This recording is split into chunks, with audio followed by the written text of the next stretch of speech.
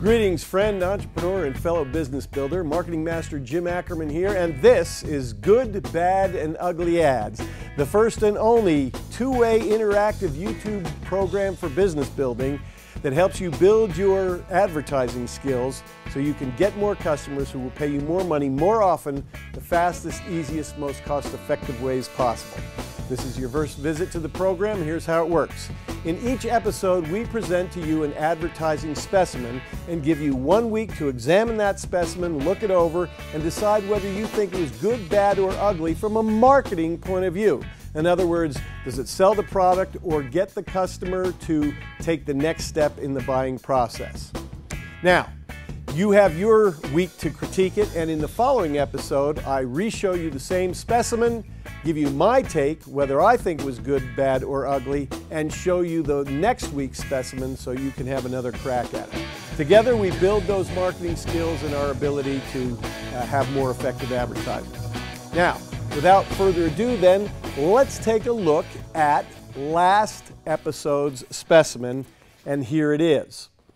This again is a simple number 10 envelope and it has the name looks like it's typewritten across the face of the envelope. There is no return address and no teaser copy. So the problems with the envelope are bad enough to make this entire effort unfortunately bad, but let's go ahead and take a look at what's inside.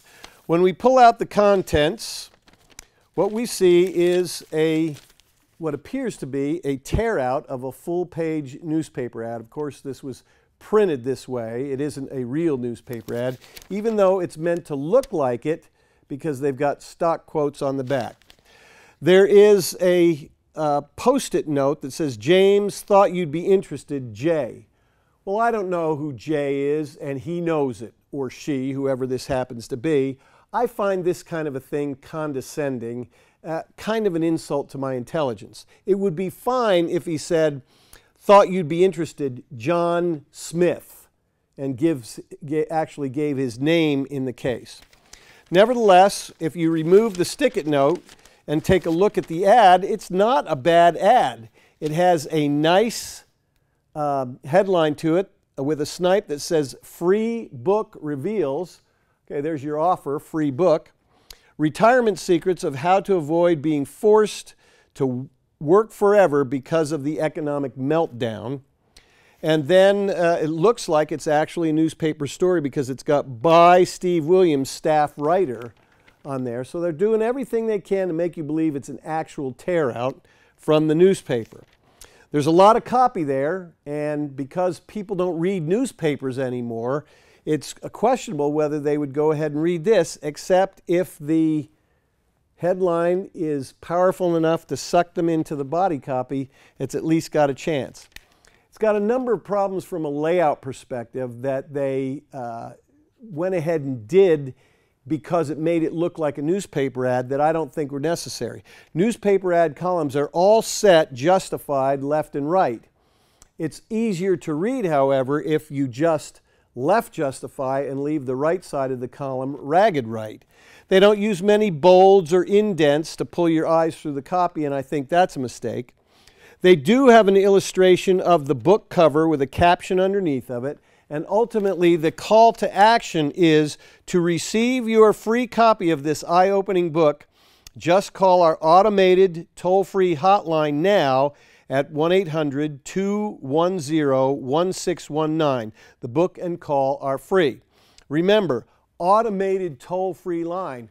That's a very important and positive thing about this is you can say, okay, it's an automated line, meaning you're not going to talk to a live operator. They're going to take your order in an automated way. You know you're not going to be sold something on the spot. You are, of course, going to give them your name and contact information, and because you sent for the book your, your physical address, so that they're going to be able to do additional marketing to you in the future. Again, this is a rehash of a tried and true marketing technique or gimmick from the past that I don't think is anywhere near as effective as it once was because of what's happened in the newspaper world and because, frankly, of some of the execution here. Would have been a much better piece if, in addition to the mail, uh, the uh, newspaper article, it would have included some kind of a sales letter. So, when you take the poor envelope and the problems or flaws in the newspaper article, despite the fact that there are some positives, the marketing masters take this one's ugly. Now, let's talk about next week's specimen. As you can see, this also is a number 10 envelope, but it has a couple of characteristics that are different from the last one that I'm going to point out.